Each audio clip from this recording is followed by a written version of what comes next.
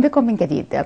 إبراهيم وبدر لاما أخوان فلسطينيان دخل تاريخ السينما المصرية من أوسع أبوابه فهما أول من قدم فيلم روائي مصري طويل وهو فيلم قبلة في الصحراء عام 1927 بعد إنشائهما لشركة إنتاج أول شركة إنتاج في الإسكندرية. قدم من خلال هذه الشركة ما يقرب من 30 فيلم للسينما المصرية والعربية.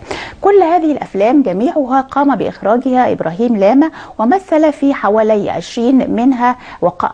يعني قام بدور البطولة في أكثر من 20 فيلم منها أخوه بدر لاما. والحقيقة أن إبراهيم وبدر لاما علامتان هامتان.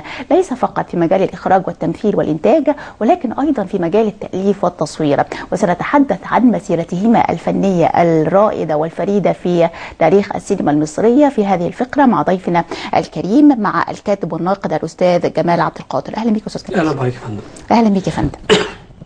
الأخوان لاما إبراهيم وبدر هما من أصل فلسطيني لكن العائلة هاجرت إلى الأرجنتين حيث نشأ هناك في آه هذه آه أو في هذا البلد الغربي وكانت علاقتهما بالسينما بدأت هناك علاقتهما بالسينما يا أستاذ جمال حدثنا عن هذه النشأة وهذه البداية. هو زي ما حضرتك ذكرت هم سافروا إلى أمريكا اللاتينية والأرجنتين تحديدا لممارسة الأب مهنة التجارة. وكان عندهم ولع وحب وعشق للسينما وكانوا طبعا متابعين للسينما الأمريكية والإيطالية والسينما الأوروبية بشكل عام. فقاموا بشراء كاميرات وكان في حلمهم إن هم يطلعوا على فلسطين أو الشام في وقتها ويبدأوا حلمهم في في دخول صناعة السينما لأن كانت السينما هناك في الشام كانت بتبتدي أو بقى لها سنوات قليلة هناك بدأت في العشرينات. لكن لظروف مرض أحد الأخوين توقف في اسكندرية وهنا تغيرت معالم الرحلة وبدأت رحلتهم وعشقهم للسينما يبتدي هنا في مصر في اسكندرية. طب أستاذ جمال يعني هم قضوا أو قض قضي بعض الوقت في فلسطين قبل الهجرة إلى الأرجنتين وتشيلي بالتحديد ولا العائلة هي اللي هجرت وتم ولادتهم الاثنين في الأرجنتين؟ لا هم ولدوا في فلسطين وبعد كده سافروا على يعني قضي بعض الوقت آه. في فلسطين في بيت لحم بالتحديد م. ثم يعني هاجر إلى هاجر إلى الأرجنتين ده حقيقي طيب خلينا بقى نتعرف هم اذا جاء إلى الإسكندرية وفي ذهنهما هذه الأفكار عن السينما مش بس مجرد أفكار ولكن حلم الحقيقة أستاذ جمال.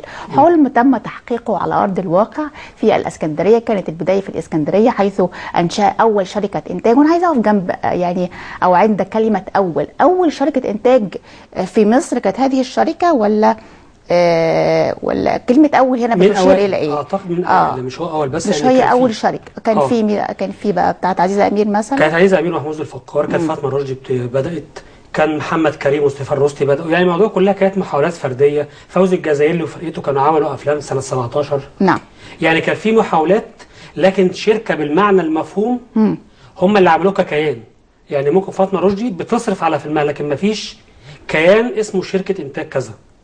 فهم كلهم بدأوا في تزامن. يعني ما تقدريش تقولي ده قبل ده. هم كلهم بدأوا في توقيت مقارب لبعضه. نعم يعني لما أقول أول شركة انتاج بالفعل يبقى هم هم من الأوائل. آه طيب من الأوائل من الأوائل. طب اذا هم جاء للإسكندرية من حسن من حسن حظنا يعني هم لم يستطيعوا إكمال الرحلة إلى فلسطين وهكذا وجاء للإسكندرية وبالفعل يا فندم حققوا الحلم أو الحلم كما ذكرنا وكان لهذين الأخوين يعني الريادة كان لهما أو على أيديهما قامه السينما المصرية. إيه الدور الفعال يا فندم اللي قام به الاخوان أو لاما حتى نقول إنهما تم تأسيس هذه السينما السينما المصرية على أكتافهم. ماذا قام بالفعل؟ إن هم بعد ما استخدموا الكاميرات من بره بدأوا الأول يعملوا زي تجارب يصوروا تجمعات أصدقاء يصوروا حفلات خروج النيل المناظر الطبيعية ويعرضوها لبعض في في تجمعاتهم إيه؟ كأصدقاء. ثم بدأوا بعد كده مرحلة دخول أفلام الصامتة القصيرة. وبدأوا هنا يبدأ يطلع فيه منتج يخرج للجمهور ويعرض للناس. بعد شوية الصامت تحول ل متكلم. هنلاقيهم في المتكلم كانوا مركزين قوي على الهوية الشرقية. اللي هو صلاح الدين فتح مصر. كل الأفلام كانت كيلوباترا الأفلام التاريخية طب قبل أن نأتي إلى مرحلة السينما الناطقة خلينا إحنا لسه في البدايات خالص. م. يعني إحنا بنتكلم عن أول فيلم في السينما المصرية كان فيلم صامت اللي هو قبلة في الصحراء. م. وأنا هقف عند كلمة أول فيلم برضو زي ما وقفت عند كلمة أول شركة إنتاج. هل بالفعل هم أو أو قبلة في الصحراء هو أول فيلم ولا فيلم ليلى العزيزة أمير؟ لأن هناك خلاف يعني حقيقة وانقسام بين المؤرخين حول هذا الأمر. أنه فيلم يا فندم قال- الصحراء هو الأول. لأنه بناء عرض- عليه. عرض في يناير 27 آه. فيلم ليلى نوفمبر 27 نعم. وده ثابت في كل الموسوعات آه. إن هو السبق في العرض. نعم. آه، فهو يعتبر أول فيلم. آه، عرض في السينما المصرية هو قبلة في الصحراء وده ده؟ يبقى الفضل الاخوين لما فيه اذا قولا واحدا هناخد من أستاذ جمال كده على الرغم من هذا الانقسام الكبير اللي قريته في في كثير من المقالات الحقيقة إن هو ليلى ولا قبلة في الصحراء وهكذا لكن حضرتك كده يعني آه، خلاص حطيت النقط على الحروف زي ما بيقولوا اذا آه. أول فيلم روائي في السينما 27. المصرية كان فيلم قبلة في الصحراء على يد الأخوين لاما في 1927 وكان في الإسكندرية العرض كان في الإسكندرية طيب آه، آه، آه، اللي ما يثير بالي الانتباه وحضرتك يعني آه، ذكرت هذا ال ال يعني ال هو هذه المعلومة بال- بالتحديد منذ قليل وقلت إن هم بدأوا بالأفلام التاريخية صلاح الدين فيلم صلاح الدين فيلم آه، كليوباترا فيلم قيس وليلى وهكذا. عمل بعد كده فتح مصر كمان. كمان. في آه آه. آه في الأربعينات. يعني اذا اذا لم تكن يعني آه، هذا الأمر خاص بالبدايات فقط ولكن أيضا كان في الأربعينات. آه تمام. بس أنا حاول برضو عند البدايات لأنها برضو مرة أخرى مثيرة مثيرة ل آه، يعني الانتباه ملفتة للانتباه في نقطة. أنت دول الناس جايين ثقافتهم معظم هذه الثقافة جاية ثقافة غربية هم طول عمرهم يعني في الأرجنتين وهكذا. أول ما بداية من فيلم قبلة في الصحراء اللي بتدور أحداثه في أحداث صحراوية بدوية وهكذا. وبعدين أفلام زي صلاح الدين أفلام زي آه، كليوباترا فيلم زي قيس وليلى. انت هنا بتتكلم على آه، أفلام تاريخية بتتكلم على بيئة عربية على بيئة صحراوية. اللي كان في دماغ الناس دي يا فندم حتى يركزوا على هذه الموضوعات بالتحديد. هو اللي كان في دماغهم إن هم بينتموا لأي ثقافة. والجمهور المستهدف بينتمي لأي ثقافة. لو أنا قدمت أفلام فيها نزعة أوروبية طب ما اوريدي السينما الأوروبية موجودة هنا في مصر سواء إنجليزية أو أمريكية أو فرنسية إيطالية كلها بتعرض للطبقة الأرستقراطية في مصر. فإيه المختلف اللي أنا أقدمه؟ الطبيعي إن أنا أنا كشرقي أو عربي أو فلسطيني أو مصري بقدم سينما مصرية للجمهور المصري. فكان لازم أروح للهوية المصرية علشان أبقى جاذب للجمهور ومختلف عن السينما الأجنبية اللي بتقدم. فكان لازم الجمهور يشوف نفسه فيها. بالإضافة إن المسرح في الوقت ده سواء بقى رمسيس أو فاطمة رشدي أو علي كسار برضو كانوا بيقدموا المسرحيات الشعرية أو المسرحيات اللي فيها الشكل العربي أو الشكل التاريخي. فتاثرا بالمسرح كان لازم آخد نفس معظم المسرحيات دي وأحط كمان فيها الشكل الغنائي عشان أبقى جمعت كل التوليفة اللي الجمهور يقبل عليها سواء رواد السينما الأجنبية أو رواد المسرح والتياترات اللي متعودين على الأغاني والمقطوعات زي مجنون ليلى قصو ليلى الحاجات اللي كانت بتعرض في المسرح يعني. نعم نعم. طيب آه، دلوقتي ممكن يكون برضو أحد الأسباب يعني إن إبراهيم لاما كان برضو بي- بيرضي أخاه إلى حد ما أو أخيه إلى حد ما يعني قال لك ده آه، بدر آه، هو عاشق للأفلام الأمريكية والبطل الأمريكي بوجه الخصوص اللي هو فالنتينو رودولف فالنتينو اللي هو كان بيقوم بأدوار المغامرة وفي في بيئة صحراوية وهكذا. وبالتالي هو كان يعني كان كان كان معجب كثيرا بهذا البطل وكان بيرغب في تقليده وبالتالي اتفصلت الأفلام دي بناء على آه، يعني آه، رغباته. ده وارد وطبيعي لانهم إن هم أصحاب المشروع فطبيعي بيفصلوا المشروع على حسب أفكارهم على حسب هوى. النجم باعتباره في وقتها كان بدر لما أحد نجوم السينما المصرية آه. لأن كان عدد النجوم وقتها قليل جدا. فهو من ضمن النجوم دي. فطبيعي إن ال- العمل يكون مناسب ليه شكلا وفيزيكال وكل الحاجات علشان يقدر يأديه كأحد أبطال السينما في الفترة دي. مم.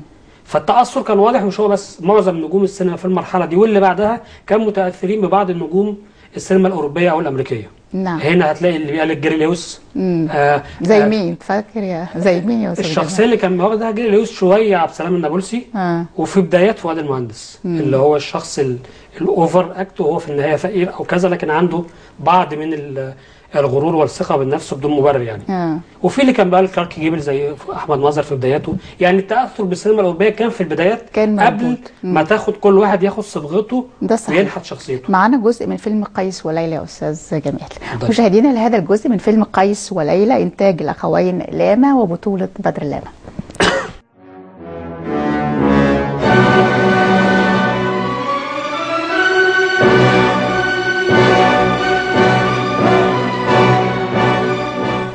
مشاهدينا لم يكن الأخوان لاما وراء تأسيس السينما المصرية فقط ولكن كان وراء تأسيس السينما الفلسطينية أيضا. ويظهر هذا من خلال فيلم شبح الماضي اللي تم عرضه في مصر وفلسطين في نفس التوقيت من عام 1935 وأيضا فيلم الهارب الذي تم تصويره كاملا في بيت لحم في فلسطين وعرض عام 1936 أستاذ جمال خليني أبدأ بالفيلم الأول اللي هو فيلم شبح الماضي وده كان بطولة نادرة وبدر لاما وإخراج طبعا إبراهيم لاما وده عرض في عام 1935 في مصر وفي فلسطين. ده معناها إن السينما الفلسطينية بدأت يعني في نفس التوقيت اللي بدأت فيه السينما الفل... المصرية يا أستاذ جمال. ده حقيقي. هي بدأت في العشرينات عن طريق أحد روادها إبراهيم حسن كامل وأحمد الكبالي. وبرضه بدأت بنفس الطريقة. الكاميرات بنبدأ نصور زيارة الملك عبد العزيز آل سعود بنصور الشخصيات العامة ونعرضها في أماكن تجمعات الشلة ثم المحاولات الفردية اللي أنشأت الايه السينما. فالسينما في الشام طبعا ما كانش فيه تقسيم وقتها فلسطين والأردن وسوريا. فكان في الشام بدات في نفس التزامن لكن ما كانش عندها القوة والاستمرارية اللي حصلت في مصر. فلما بدأت تظهر فهو بحنين لهذا الوطن الأساسي لما بينتج الفيلم هنا فبيعرضه بالتزامن هنا وهناك دعما للجمهور ولدور العرض هناك. وفيلم آخر زي ما حضرتك ذكرتي صوره هناك وعرض فيه في فلسطين وعرض في مصر اللي هو فيلم الهارب يعني الهارب. فيلم الهارب بقى اللي هو صور كاملا في بيت اللحم بفلسطين وبالتالي يعني هنا هم أكيد كده يعني كان لهما يد على الأقل من خلال هذا الفيلم بالتحديد في تأسيس السينما الفلسطينية. ده حقيقي لأن أحداث الفيلم ممكن تدور في أي مكان. آه. يعني ما فيش مبرر ليه إن هو يصور في فلسطين إلا حبا في إن هو يكون هناك داعم للسينما الفلسطينية في بدايتها. زي ما قلت لك إن م. كانت مشكلة السينما سواء في فلسطين أو سوريا أو لبنان الاستمرارية. بدأت من العشرينات نعم. لكنها توقفت نعم. لفترة ورجع ورجعت توقفت تاني في الأربعينات بعد النكبه وتوقفت كثيرا. نعم.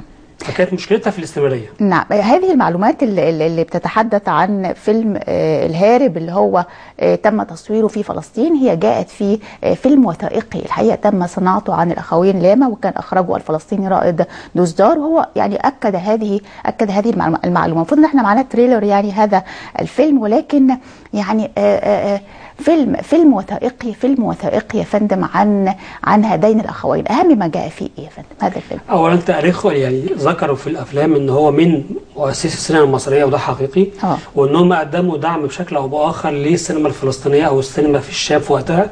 وده بالفعل حقيقي. لكن هم كانوا سيئين الحظ في النهايات اللي تعرضوا لها في الآخر. لكنه يظل أحد رواد السينما المصرية وصانعيها وفي والسينما الفلسطينية نفس الشيء. لكن إنجازه الأكبر هنا في مصر أكتر من فلسطين. طيب معانا تريلر هذا الفيلم الوثائقي يا فندم. إلى تريلر فيلم الأخوين لاما للمخرج الفلسطيني رائد دوزدار 1924 وصل إلى الإسكندرية شابان فلسطينيان قديمان تشيلي وهما إبراهيم وبدر لاما. ومن بيت لحم مهد السيد المسيح تبدأ الرواية. كانوا بدهم يجوا لبيت لحم يسووا استوديو للأفلام لهذا فنزلوا على الإسكندرية. إبراهيم طبعا هو المخرج وبدر هو الممثل. اولا ما هي البداية؟ نحن نثبت التاريخ ولا نتنافس على الريادة لأن الريادة بالمعنى التاريخي لمصر طبعا. هم نقلوا على أساس يعملوا استوديو ومجال السينما.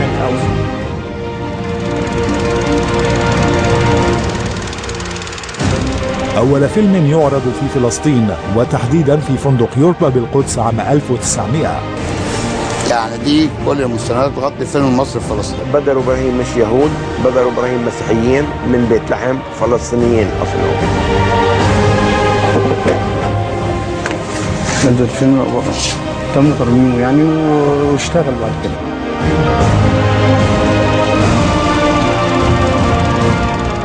يعني أنا بعتبر بدر وابراهيم لاما هم العلامة الأولى في تاريخ السينما الفلسطينية.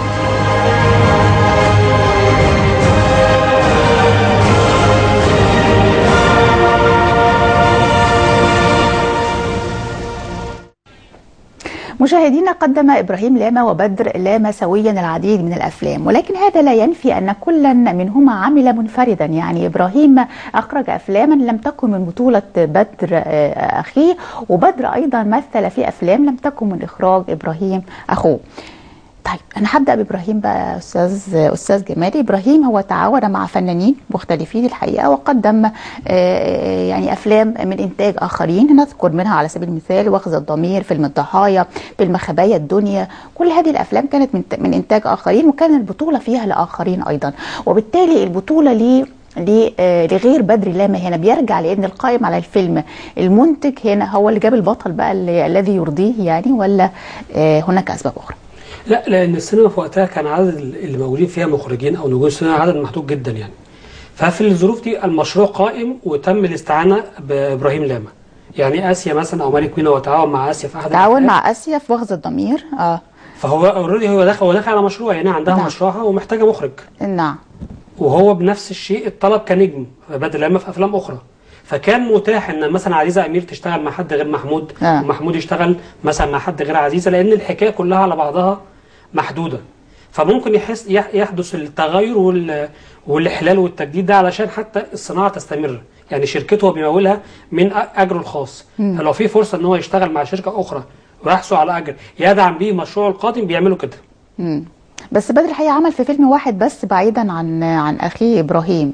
بدر. مم. بدر لاما كممثل عامل في فيلم واحد اللي هو فيلم آه، مع نيازي مصطفى فيلم رابحه عام 1945 ده كان من إخراج آه، طبعا نيازي مصطفى. والحقيقة هو آه، يعني ده ده دليل على إيه بقى؟ هل ده معناه إن بدر يعني هو بقى اصبح نجم شباك كبير وعليها الإقبال من المخرجين والمنتجين وهكذا؟ ولا تفسير حضرتك إيه؟ هو في بالفعل كان في الفترة دي من أحد نجوم الشباك لأن كان عددهم قليل جدا. ولو أعتقد لو كان استمر فترة تانية كان هيكمل مع شركات أخرى مع مخرجين آخرين يعني. مم. لأن هو كان حقق نجاحات جيدة من خلال شركته ومن خلال أخوه. وب- والطبيعي إنه يبقى مطلوب من شركات أخرى. مم. لكن زي ما قلنا هي في البداية كان الموضوع ماشي بشكل عائلي أكتر. آه عزيزة أمير زي ما قلنا ومحمود الفقار ومالكين آسيا وأحمد جلال جلال بدر لما وإبراهيم لاما آه فاطمة رشدي و... وإنصاف ورتيب. يعني هتلاقي الموضوع عائلي صحيح. اولا ثم يحصل من وقت لاخر التغير والإيه؟ ده التطور المنطقي يعني. ده التطور الطبيعي، آه. آه التطور المنطقي يعني الأمور. خاصة برضو إن فيلم رابحة ما بعدش بعيدا عن يعني زي ما بنقول كده ميول لبدر لاما برضو إحنا بنتحدث عن الصحراء وعن عالم البدو وهكذا وبالتالي جاء يعني في العالم الذي آه، يعني يعشقه بدر بيعشقه ويلائمه وبيحبه رغم على فكرة كثيرا. نعم. يعني غالبا هو بعيد عن عن, عن المجتمع المصري. آه. المجتمع المصري مش أغلبه آه. آه بدو وخيم وصراعات قبلية. نعم. المجتمع المصري كان مرحلة متطورة عن كده. مم. لكن هو باعتبار إن أصل المنطقة العربية كلها العرب اللي بينتموا لهذه الثقافة فكون بيقدموا علشان يبقى عمل خاص بالعرب ككل مش المجتمع المصري فقط. نعم. طب تجربة الأخوين بقى منفصلين كل يعني بمفرده هل كانت تجربة ناجحة ولا عملهم مع بعض كان أكثر نجاحا؟ عملهم مع بعض كان أكثر نجاحا لأنه كان أكثر استمرارية. يعني حاجة زي ما ذكرتي عمل واحد لبدر كبطل مع مخرج آخر والتجربة ما استمرتش إنه بعد كده توفى. حتى أثناء تصوير اللي هو البدوية الحسناء. آه. بدر لما عنده تجربتين جيدين لكن برضو كل ما هنتذكر أفلامهم هنفتكر أفلامهم اللي هم نعم. فيها مع بعض نعم يعني في, في رأي حضرتك دي كانت أفضل أف- دي كانت الأفضل، آه. كانت الأفضل طب معانا جزء من فيلم رابحة كده بطولة بدر اللامة وإخراج نيازي مصطفى مشاهدينا لهذا الجزء من فيلم رابحة الله قالوا إنك عيانة What? I have been told that you are ill. I'm perfectly well. I never felt so good in my life. Can I offer you some tea? ما تخافيش والله ما أنا خايفة إلا عليك. اطمئن آخ يا ربي ويش هالعملة؟ مشاهدينا الثنائي إبراهيم لاما وبدر لاما كان معهما طرف ثالث تردد اسمه كثيرا في الأفلام التي قدمها الأخوان ما بين السيناريو والحوار والإخراج. هذا الطرف الثالث هو السيد زيادة. أستاذ جمال ما هو الدور الذي لعبه السيد زيادة في تجربة الأخوين لاما؟ سيد زيادة في الأصل كان صديق ليهم لأنه كان صحفي و- وروائي. وبعد شوية بعد قربه منهم بدأ أحيانا يشارك في كتابة السيناريو والحوار لأن الموضوع ما وقتها زي ما قلنا ما كانش فيه تخصص. الموضوع بيتم كده بشكل اجتهادي. آه، بعد ما كان ليه كام تجربة في كتابة السيناريو قبلها الرواية والقصة كون شركة إنتاج وبدأ يشارك هو نفسه كمؤلف وكمخرج سواء في أفلام معهم أو مع في أفلام مع أطراف أخرى. لكن معهم كان جزء مساعد مخرج آه، جزء مشارك في كتابة السيناريو والحوار بالتعاون مع إبراهيم لاما فكان ليه دور كبير في أفلامهم يعني. طيب من بين الأفلام اللي شارك فيها آه، سيد زيادة في كتابتها كان فيلم آه، البدوية الحسناء وده قدم عام 1947 وكان آخر أفلام بدر لاما يعني آه، قبل أن يتوفى وهكذا. الفيلم ده يا فندم يعني يلائم بدر لاما تماما بيقول زي ما بيقولوا كده مت- متفصل على مقاسه. هل ده بيرجع لمشاركة السيد زيادة في تأليف قصة هذا الفيلم؟ لمشاركتهم مع بعض. آه. يعني هو زي, ما بيحصل مؤخرا دلوقتي إن إحنا بنشوف طلبات النجم وده على فكرة ما هوش يعني مش مش غلط إن آه. أنت بتشوف طلبات النجم أو بنبدأ نرسم مع بعض الحكاية هتتبني وهتمشي إزاي وطبيعي لازم يلائم البطل بما إنه هو اللي هي... هيقدم الفيلم. نعم. أو أكتب بقى الشخصية وبعدين ادور على ما يلائمها. يعني هي ساعات بتمشي كده أو كده.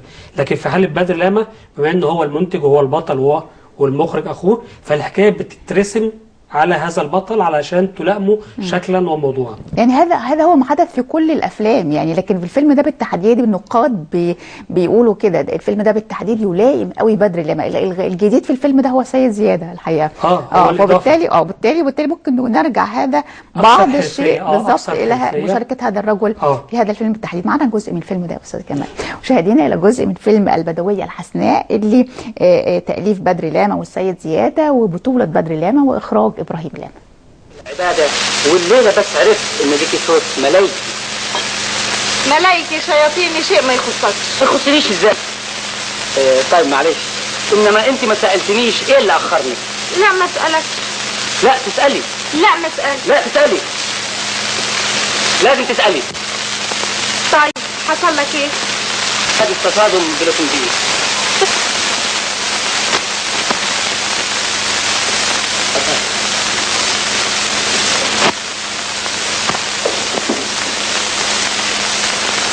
الخير صباح الخير حبيبي. المدمزيل بدرية من فضلك. المدمزيل بدرية سافرت سافرت؟ إمتى؟ بالليل بالطيارة. وسابت لحضرتك الجواب ده.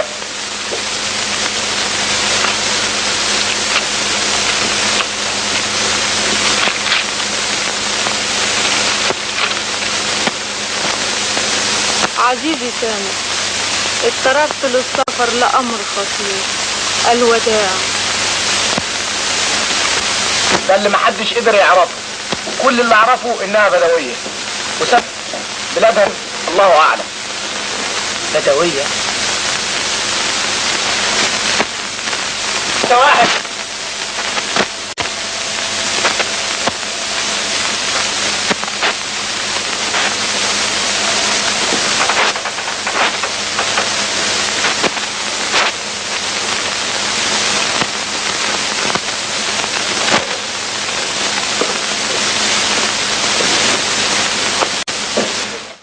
مشاهدينا لعب الأخوان لاما دورا هاما في تقديم الفيلم الغنائي من خلال أفلام مثل الضحايا وعاصفة الربيع كما لعب أيضا دورا هاما في تقديم الوجوه الجديدة مثل أنور وجدي وشادية ومجدة. أنور وجدي وشادية ومجدة. ومحمود المليجي؟ آه كان موجود في صلاح الدين برضه في آه ده صحيح ده صحيح. طيب بالنسبة للفيلم الغنائي يا فندم هم قدم قدم أكثر من فيلم غنائي كانت البطلة فيه مطربة يعني نادرة في على سبيل المثال في فيلم شبح الماضي ليلى مراد كان في فيلم الضحايا آه، شادية كان في فيلم عاصفة الربيع وهكذا. بالفعل يبقى ده يخلينا بالفعل نق- نقول إن الناس دي كان لها يد في الترويج للفيلم الغنائي. آه طبيعي زي ما ذكرت لحضرتك في الأول إن هم إن معظم الجمهور جاي من خلفية مسرحية بيتفرجوا على مسرح بيتفرجوا على تياترو. فلازم لما انقلهم لميديا جديدة وعالم جديد لازم يلاقوا الشكل اللي هم اتعودوا عليه. فلازم يبقى فيه الجزء الغنائي علشان الجمهور ما يحسش بملل من قصة طويلة مده ساعة ونص أو ساعتين مش متعودين عليها. فكان الشكل الغنائي منتشر جدا في الفترة دي. يعني مش هتلاقي فيلم يخلو من الأغنية لم يكن قائم على عدد من الأغاني. وطبيعي كنا محتاجين وجوه أو أصوات صاعدة أو ناشئة عشان تدخل في فيلم ما تكونش هي بطلة على غرار مثلا أم كلثوم عبد الوهاب اللي كانوا أبطال أفلامهم. فاستعانوا بالأصوات اللي هي كانت في بدايتها زي ليلى مراد وشادية. ونادرة اللي هي كانت. ظهرت برضو. يعني هم مطربات ووجوه جديدة في نفس الوقت. ده حقيقي. طب بعضهم وده هياخدني لفكرة الوجوه الجديدة. يعني ماجدة آه، في القافلة تسير آه، أنور وجدي بصلاح الدين وأيضا محمود المليجي في صلاح الدين.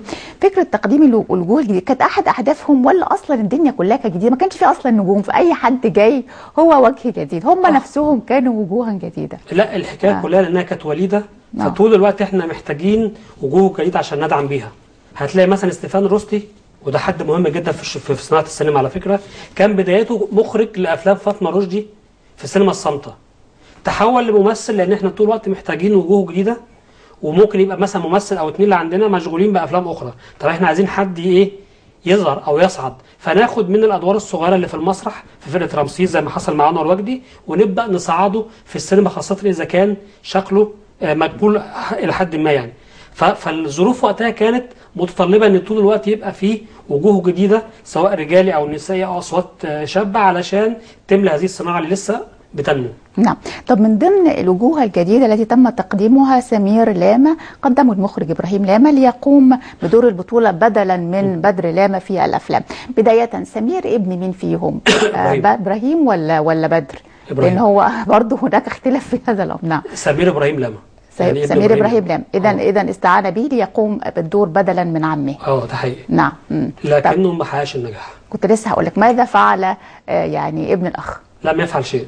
لم يفعل. يعني مع إنه قدم أكتر من عمل برضه أستاذ أستاذ جبال. يعني شارك هنقول في الحلقة المفقودة سكة السلامة عاصفة الربيع القافلة تسير ومع نجمات يعني في منتهى اللطف فاتن حمامة مم. آه، عفاف شاكر شادية ماجدة.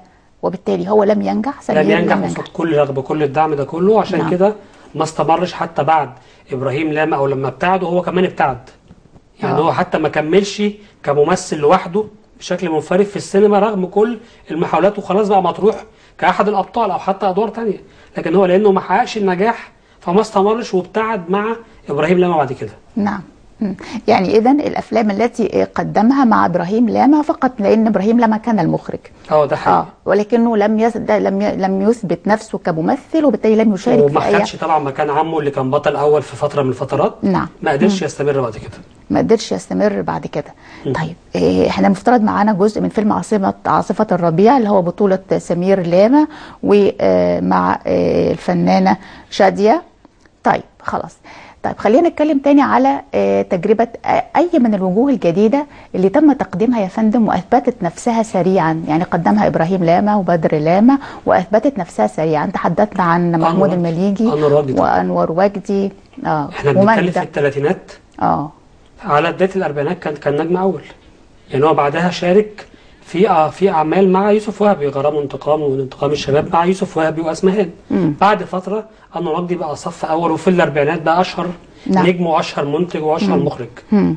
محمود المليجي ثبت وجوده واستمر وكمل حتى بقى هذا الممثل العظيم يعني آه في يعني الحكاية بتبتدي زي ما قلنا والاستمرارية هي اللي بتأكد إذا كان في نجاح ولا لأ مم. انور وجدي استمر والمليجي استمر سمير لاما ما استمرش مم. فأعتقد انور وجدي هو أشهر من خرج من مدرسة بدر لما. نعم. طيب خلينا برضو نتكلم على آه، آه، الإنجازات ال- الأخرى التي قام بها ال- الأخوان لاما وبالتحديد بإبراهيم لاما. إبراهيم لاما يا فندم ينسب ليه أنه هو أول المخرجين الذين قاموا بالتصوير في جنوب إفريقيا في غابات آه، السودان وفي غابات كينيا من خلال فيلمين بالتحديد وبالتالي ده بيحسب ليه. فبالتالي يا فيلم الحلقة المفقودة سنة 48 وفيلم القافلة تسير عام 51 ماذا عن هذه النقطة وهذا ألا يعد هذا إنجازا يا أستاذ جمال؟ في الفترة دي كانت السودان جزء من مصر مم. فإحنا نعتبر برضو بنصور في مصر مم. فهم راحوا لأماكن أخرى مختلفة علشان يبقى في م- مناظر طبيعية أو أو صورة غير المعتاد عليها إذا كانت في حارة مصرية نعم. أو في ديكورات مكررة فبالنسبة له يحسب له إن هو خرج بره الإطار المعتاد أو اللي كان بدأ يتكرر في بعض الأفلام مم. لكن في النهاية هي مصر برضو لأن وقتها كانوا كلهم دولة واحدة لكن برضو يحسب له انه خرج وراح لمكان ما اعتقدش انه حتى اتكرر بعد كده كتير يعني مم. مم. طب فيلم زي الحلقة المفقودة هو شارك فيه سمير آه، لاما يا أستاذ آه، يا أستاذ جمال طب حتى هذا الفيلم لم ينجح على الرغم من تجربته وموضوع جديد للغاية يعني بنتصور في جنوب أفريقيا وهكذا والغابات ومش عارفة إيه هل ده آه، حتى مع وجود هذا الموضوع لم ينجح لم؟ ينجح لأن هو مش ما كانش اسم جاذب نعم. للشباك وكمان ما كانش ممثل جيد.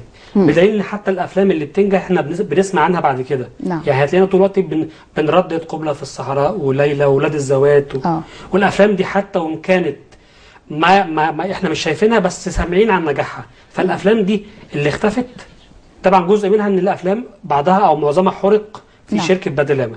لكن هو لو كان حقق النجاح كان الفيلم فضل في ذاكرتنا وهو يعني النجاح بيجيب نجاح. كان استمر كممثل لكن ده ما حصلش. ده صحيح. ده إحنا معانا جزء من هذا الفيلم النادر يا أستاذ جمال مشاهدينا إلى هذا الجزء من فيلم عاصفة الربيع بطولة سمير لانا وإنتاج وإخراج إبراهيم لانا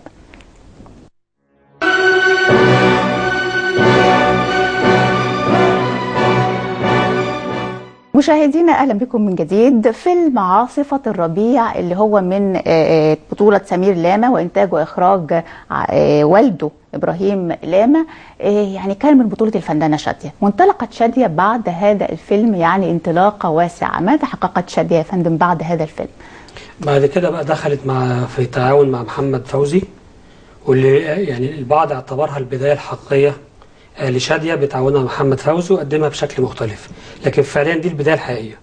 لكن يمكن البداية الثانية أقوى. زي ما قلنا إن لأنه مع سبيل لاما ما حققش نجاح فحتى النقاد والمؤرخين ما اعتبروش بداية شادية من هذا الفيلم اعتبروا بدايتها مع محمد فوزي. لأنها مع محمد فوزي حققت نجاح كبير وظهرت بشكل مختلف واستمرت معاه في أكتر من عمل كسواء أدوار صغيرة أو دور تاني وكملت في انطلاق- انطلاقتها بعد كده. طب ماذا عن ماجدة بقى في القافلة تسير؟ نفس الكلام ماجدة ظهرت في القافلة تسير لكن لأنه برضو العمل ما اتشافش بشكل جيد اعتبروا بدايتها في شك بشكل آخر بعد كده بشوية. نعم نعم يعني دايما البداية لما بتكون ضعيفة صحيح لا تحسب لا تحسب آه. لا تحسب يعني حظهم بقى إن كانت البداية بهذه الطريقة ولكن يعني يبقى في نهاية الأمر يعني هما دخل عالم آه. السينما على يد أيضا الأخوين آه، لاما وعلى يد إبراهيم لاما بالتحديد تحديدا آه. طب خلينا ناخد جزء بقى فيلم من من جزء من فيلم عاصفة الربيع مشاهدينا لهذا الجزء من عاصفة الربيع بطولة سمير لاما وإنتاج وإخراج إبراهيم لاما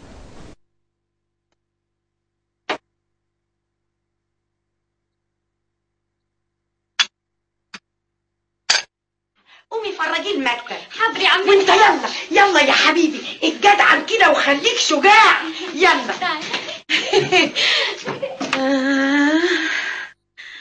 مشاهدينا قدم الأخوان لاما العديد من الإنجازات للسينما المصرية. قدم أول فيلم مصري روائي طويل قدم الأفلام الغنائية قدم الأفلام التاريخية قدم أفلاما صورت في أحراش وغابات جنوب إفريقيا.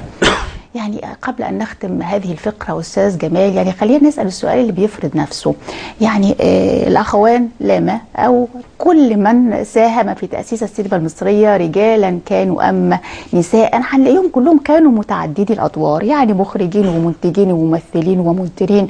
كل هذه الأدوار كانوا كلهم يعني بيقوموا بها هل ده ثبت هذا العصر ولا فكرة إن هو إحنا في البدايات ويعني نعاني من نقص في هذه التخصصات وبالتالي يعني مجبر أخاك بطل. لأن مع زي ما ذكرت الموضوع كان السينما وقتها كانت لسه في طول الوليد لسه ما فيش حد عنده خبرات سابقة ما كانش فيه لسه دراسة فكان اللي عنده شكل اجتهادي بيعمل كل حاجة. يعني بيعمل هو أحيانا بيرسم الديكور بنفسه ويعمل ملابس يكتب يخرج يصور يمثل كل حاجة بتحصل. بعد شوية ودي برضه تحسب له أحمد سالم لما تولى رئاسة استوديو مصر بدأ يصفر مخرجين ومنتجين يدرسوا بره علشان يرجعوا ويبقى الموضوع بشكل مهني ومتخصص أكتر. الكلام ده في منتصف الثلاثينات. ما قبلها كله كان الموضوع ماشي بشكل اجتهادي. الاثنين بيكتبوا والاثنين بيخرجوا والاثنين بيمثلوا. نعم.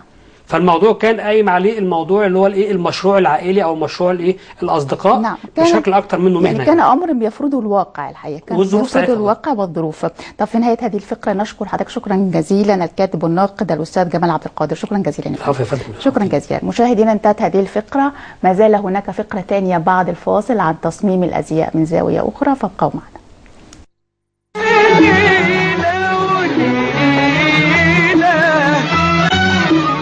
الناس اللي تتكلم لجيو والله يا فندم ولا الجوه ولا البرة. سمعني انت بتقول إيه؟ كل خير يا فندم. وأنا شغلتني مش انت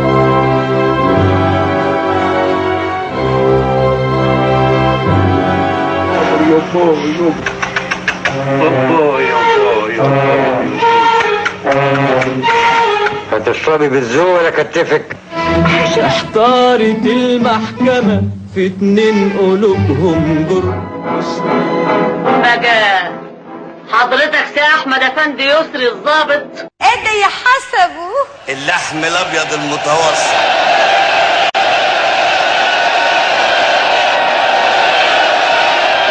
فقد تزندق. ومن تفقه ولم يتصوف فقد تفسق.